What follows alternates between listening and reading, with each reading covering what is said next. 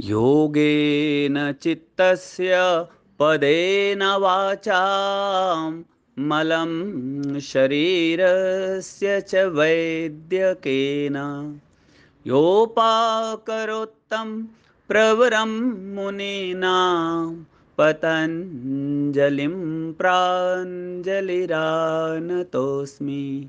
पतञ्जलिं प्राञ्जलिरानतोऽस्मि ओम मित्रों, आज हम जिस पॉइंट पे चर्चा करने वाले हैं, वो है बी एलेवन बी एलेवन यह आपके शरीर में रक्त अल्पता को ठीक करता है, अर्थात शरीर में खून की कमी, लाल रक्त कणिकाएँ, श्वेत रक्त कणिकाएँ हेमोग्लोबिन और आरबीसी काउंट को बढ़ाने के लिए बहुत ही अच्छा पॉइंट है। यह पॉइंट होता है आपके अंगूठे के पिछले भाग में, जो दूसरा मोड़ है, अंगूठे का जो दूसरा, पहला मोड़, दूसरा मोड़, इसके थोड़ा सा नीचे मैं आपको एक निशान लगा के बता देता हूँ।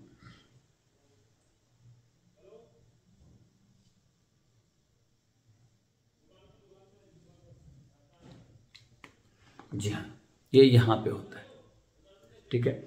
इसे दिन में तीन बार, नाश्ते के बाद, दोपहर के भोजन के बाद और शाम को, रात के भोजन के कम से कम दो घंटे बाद या फिर नाश्ते, दोपहर के भोजन और डिनर से 10-15 मिनट पहले एक एक मिनट गहरा दबाव डालिए। हल्का पर गहरा दबाव डालना है। और अगर आपके पास मैग्नेट हो तो यह मैग्नेट इसका पीला वाला हिस्सा, पीला वाला भाग, इससे चिपका करके और ऐसे लगा दीजिए। इसको छ से आठ, दस घंटे तक आप लगा रहने दीजिए और फिर इसको निकाल दीजिए।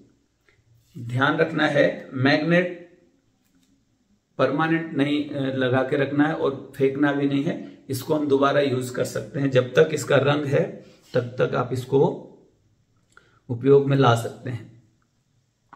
ठीक है?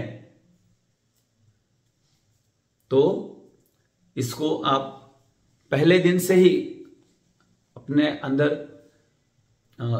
स्वस्थ महसूस करेंगे। ये खून को बढ़ाने के लिए बहुत ही अच्छा पॉइंट है। अगर आप इस प्रॉपर पॉइंट को ऐसे दबा नहीं सकते हैं तो आप कोई पेंसिल वगैरह की सहायता से ना या ये प्रोप जो रहता है इससे, यहाँ पे ऐसे ऐसे ऐसे थोड़ा रब कर सकते हैं। लेकिन अगर मैग्नेट हो तो मैग्नेट लगा लीजिए, या फिर ऐसे अंगूठे से इसको एक मिनट तक लगातार इसके ऊपर दबाव दीजिए।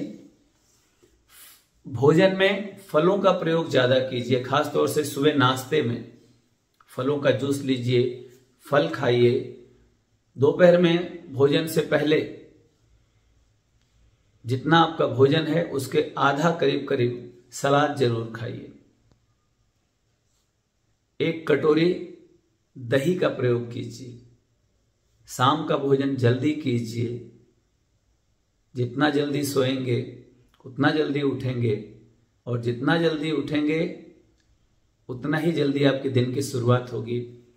आप स्वस्थ रहेंगे, आपकी दिनचर्या अच्छी होगी, आपका दिन अच्छा गुजरेगा। मिलेंगे अगले वीडियो में। वीडियो अच्छा लगा हो, लाइक कीजिएगा। चैनल पे पहली बार है तो सब्सक्राइब कीजिएगा। और दूसरों के हित के लिए इसको शेयर अवश्य कीजिएगा।